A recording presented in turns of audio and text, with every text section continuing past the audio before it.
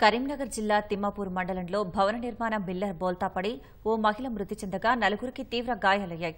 నాగసముద్రాలలో tractor మిల్లర్తో పన్నెండు మంది కూలీలు ఉదయాన్నే బయలుదేరారు. ఇరుకు రోడ్డు కావడంతో తారు రోడ్డుకు ఇరువైపులా చెట్లు వ్యాపించడంతో వాహనాలు కనపడలేని పరిస్థితి నెలకొంది. ఈ క్రమంలో ఎదురుగా వస్తున్న వాహనాన్ని తప్పించబోయి మిల్లర్ పల్టీ కొట్టింది.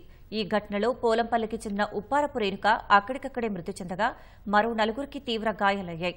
జేసీబీ సహాయంతో ట్రాక్టర్ను బయటకు చేసి క్షతగాత్రులను ప్రభుత్వ ఆసుపత్రికి తరలించారు. రోడ్డు ట్రాక్టర్పై చర్యలు తీసుకోవాలని స్థానికులు డిమాండ్ చేస్తున్నారు.